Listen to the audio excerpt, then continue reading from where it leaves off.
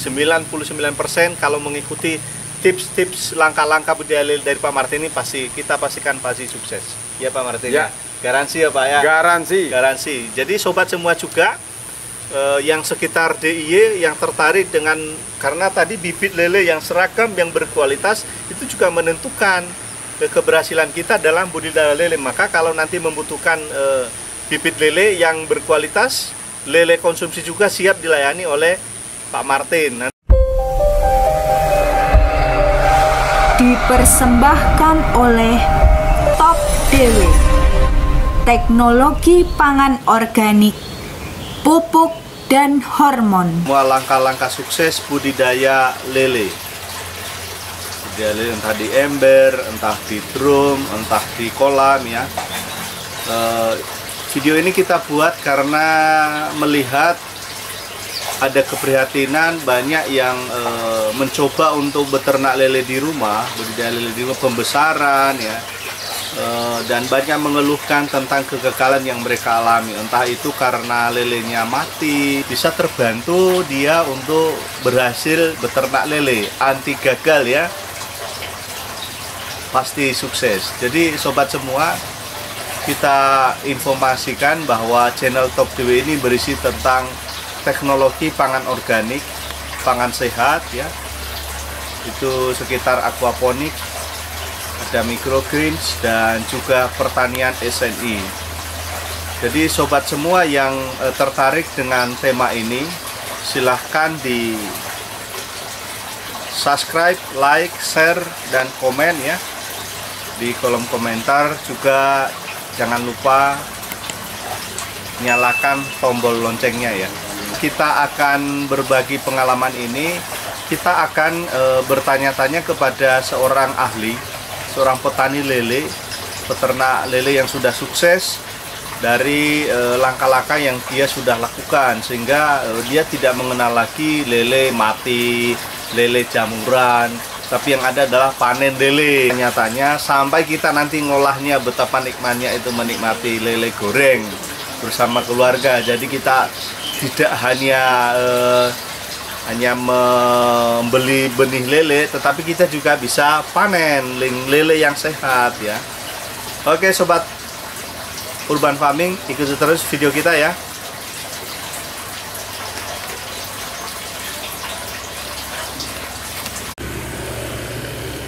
Sobat urban farming pada kesempatan ini kita bersama dengan Pak Martin dia seorang pembudidaya ikan. Eh, ada nanti kita bicara sekitar ada dia nila dan juga ada lele. Jadi lele di rumah ini juga eh, salah satu cara kita untuk bertahan di musim pandemi. Jadi pada kesempatan ini kita akan menyampaikan eh, berbagi pengalaman ilmu langkah-langkah kita budidaya lele supaya lele itu tidak merah-merah lalu mati e, bisa berhasil bila bertumbuh dengan baik dan akhirnya kita bisa panen. Ayo kita e, bertanya-tanya kepada Pak Martin sebagai peternak ikan yang sudah bergelut bertahun-tahun. Dan e, dari kesediaan Pak Martin dia akan bersedia untuk berbagi ilmunya kesuksesannya. E, beternak lele di kolam atau di lahan sempit sudah dicoba. Oke ikuti terus video kita ya.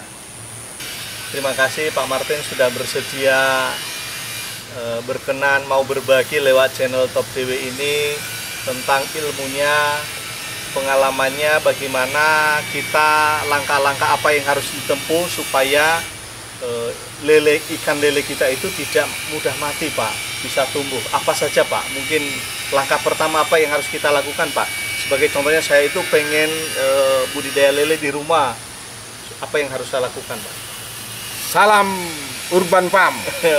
Jadi dari pengalaman saya menyangkut budidaya lele, Ya, seperti yang saya pegang di sini dan beberapa kolam di sini, ya. bahwa ikan lele itu adalah budidaya yang sebenarnya sangat mudah.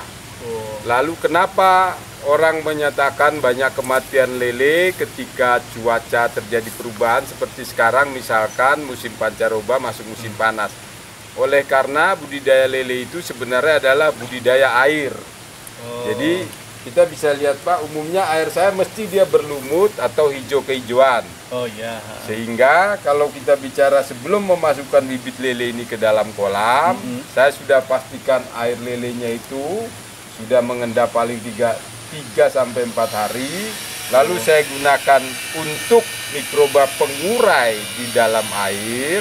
Saya menggunakan cukup satu tutup pal dan satu tutup hormon dalam DW. rang top DW kurang lebih seperti itu Pak sehingga nanti daun kates lalu di situ kita bisa lihat ada daun kates ada daun macam-macam kita masukkan sehingga nanti dia terjadi mutualisme mikroorganisme hidup menimbulkan plankton alami kurang lebih sederhananya seperti itu Bapak Oh, terima kasih Pak Mati. Berarti sebelum kita membeli lele, benih lele sebenarnya seperti ini ya, Ya. kita harus menyiapkan airnya. ya yes Ya, untuk karena permasalahan yang budidaya masyarakat kita ya di kota itu asal udah beli lele terus sebentar mati ya. iya Berarti permasalahannya karena air kolamnya airnya belum jadi belum jadi Ya. sehingga eh, lelenya mudah mati. ya Berarti salah satunya kita harus menyiapkan media, air, media Pak. air Berarti Ini pertama kita adalah- sediakan media air supaya lele ini nanti dia tahan dalam pancaroba perubahan Yes. cuaca Perubahan yang cuaca. ekstrim pun Ya, dia nggak mati, Pak. betul. Oh, ah, langkah kedua. Terima kasih, Pak. Langkah kedua apa, Pak? Harus langkah kita- kedua setelah kita siapkan yang namanya wadah media air, lalu kita pastikan bahwa bibit lele itu kalau bisa seragam. Oh, Jadi seragam itu kurang lebih ya ini kan ada yang masih kecil Oh, am- mm, mm, satu. Iya. Tapi artinya sebenarnya idealnya seperti ini. Tapi ini sebenarnya nanti kalau dia lapar ini bisa menjadi berbahaya dia mati. Itu yang kedua. Oh, Disiapkan semampu mungkin bibit itu seragam. Itu tahap oh, kedua. ukurannya sama ya, Pak? Ukurannya sama. Oh. Itu tahap kedua Mm-mm. kurang lebih. Lalu setelah tahap pertama tadi medianya air, Ya. kita fermentasi dengan hormon, dengan pal, Ya. top DW, lalu kita siapkan seukuran. Lalu yang Ah. ketiga kita pastikan bahwa bibit itu sebelum kita tebar, Ya. sebaiknya kita masukin air garam sedikit Oh, di di media waktu kita membeli bibit lele itu. Heeh. Dalam rangka apa? Supaya memastikan bahwa air dari wadah yang lama sebelum masukkan ke sini ikan itu harus dimasukkan ke air bersih yang sudah dikasih garam sedikit. Oh, ukurannya berapa, Pak? Kira- Ukurannya kalau misalkan katakan ember seperti Ya, ini ya, ya. ini paling sekitar kurang lebih ya apa namanya 10 sampai 15 gram sedikit saja air Oh, bersih. 15 gram. ke- Ya, sudah. baru lele kita cemplungin ke dalam kolam kurang lebih. begitu. Oh, itu Pak. Itu Ya. kita endap berapa waktu Pak dengan air garam itu tadi? Ya paling cuma 2-3 menit supaya 2-3 air lama itu ya tercampur Steril. dengan garam dan steril Oh. itu tujuannya. Karena air lama itu terkadang dari kolam yang lama misalkan saya beli bibit kalau langsung ke sini nanti dia terbawa ke dalam air yang ada di kolam budidaya. Kurang lebih begitu Pak. Oh, berarti ada tiga ya Pak ya. Menyiapkan media airnya, Media airnya eh, pilih benih yang seragam, seragam. lalu ketiga disia- disterilkan air media air, air media tadi air. dari kita beli ke kolam, Kolam kita ini. dengan memberi garam. Ya memberi. kalau satu ini sekitar eh, di, eh, 10 liter ya. Ya. Kita beri 15 gram aja. 15 gram saja. garam lalu kita barukan 2-3 menit Ya. oke pak eh, ada langkah lain pak selain sampai ketiga tadi Nah, ini yang yang yang paling banyak menentukan juga keberhasilan budidaya ikan lele. Nah, Ketika nanti itu lele umur 1-2 hari di dalam kolam kita, Hmm. kita harus melihat indikasi ikan itu biasanya dia bergerak stabil atau dia mulai berada di pojok-pojok atau pinggir-pinggir kolam. Nah, di sini yang sangat menentukan lagi ketika dia ada indikasi kalau bahasa sederhana dia berdiri ngadek, nah. maka seyogianya ikan itu harus dikarantina atau disendirikan oh diambil ya jangan diambil, dibiarkan jangan aja dibiarkan. Makanya contoh di kolam saya tidak boleh ada ikan satu begini. Nanti saya ambil saring itu harus saya pindah. Oh. Kenapa? Karena dia bisa menulari satu lain. kolam. Bayangkan Betul. kalau satu kolam ini 5.000 ekor hanya Ya. gara-gara satu menulari Oh. 5.000 ekor. Rugilah petani itu, ya Pak. betul berarti langkah yang ketiga itu untuk budidaya lele tadi kalau ada yang sudah mulai vertikal, Vertikal itu itu secepat, secepat mungkin tangkap, ambil ambil. si ke tempat lain ya Ya. Oh. Atau kita korban saja satu itu Kita karena buang, ya ya. karena Ah. berbahaya bagi keseluruhannya di kolam. Iya, iya, iya. Mungkin ini selama ini kalau udah mulai begini dibiarkan aja oleh petaninya atau siapalah yang Ah. ada yang terkenal sekarang budamper Pak, budidaya lele dalam ember. Ember. Wah, itu banyak yang mengeluh Pak, mati lelenya ya. Betul. Eh, terus ada langkah lain Pak selain keempat tadi? Nah, kalau sudah itu tadi yang sudah ngadek itu yang berdiri diambil, dipisahkan, lalu kita pastikan di kolam itu sudah tidak ada yang berdiri atau vertikal, maka otomatis airnya dikurangi sedikit. Oh. Nanti tambah air baru. Oh. Nah, biasanya saya suka menambahkan dengan akar bambu atau saya kasih kapur dolomit, Oh. kapur pertanian. Kenapa? Karena kapur pertanian itu di situ dia nanti akan menetralisir bakteri yang merugikan dia. Hmm. Nah, tapi dengan catatan harus dikurangi terlebih dahulu air di kolamnya. Oh, berarti eh, pengurangannya berapa persen kira-kira Pak? dari- Kurang lebih ya sekitar 20%. Jadi kalau tinggi seperti kolam ini misalkan 80 ya kurang lebih air itu dikurangi sekitar 20 cm. 20 cm ya turun ya baru. Baru baru tambah air baru. Air baru tambahin kapur tadi, Nah, kapur dolomit ya, Ya. dengan eh, akar, Akar bambu. bambu. Oh. Oke Pak, masih ada lagi? Sudah lima langkah ini Pak. ya, jadi itu tip dasar yang sederhana yang juga saya pernah coba dan saya juga terus banyak belajar dari semua teman-teman termasuk juga dari Top DW. Terima kasih Oh, Pak. Tobi. Terima kasih Pak Martin. Eh, jadi sobat urban farming sudah diberitahu tadi Pak Martin ada lima langkah supaya kita berhasil eh, budidaya lele di rumah ya, ya tadi kota atau di mana. Nanti lima langkah ini tinggal pertanyaan apakah sudah dilakukan kelima langkah tadi dari ilmunya Pak Martin?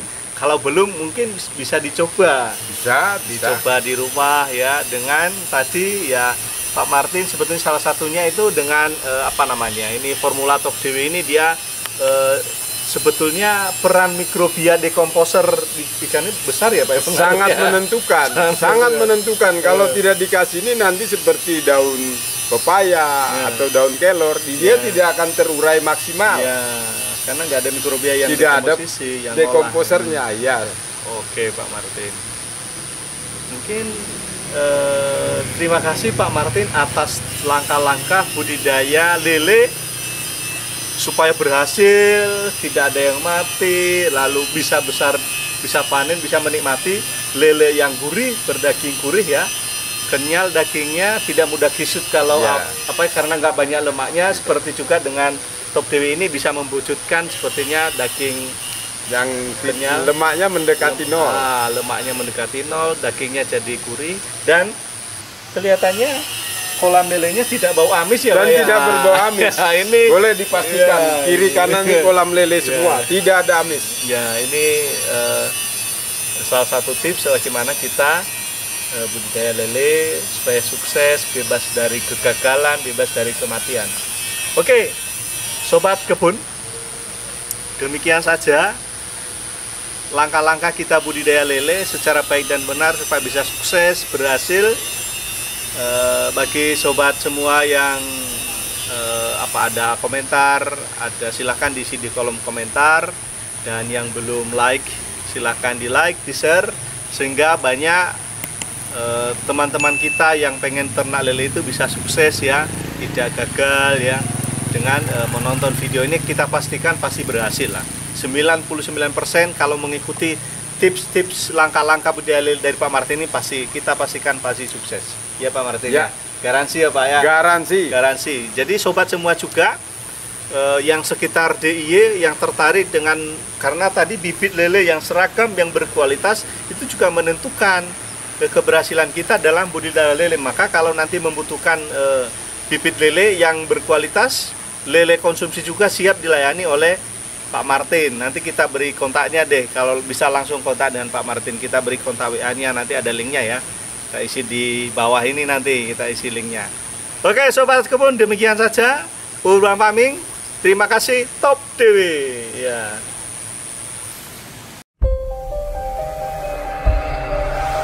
Dipersembahkan oleh Top Dewe. Teknologi pangan organik, pupuk dan hormon.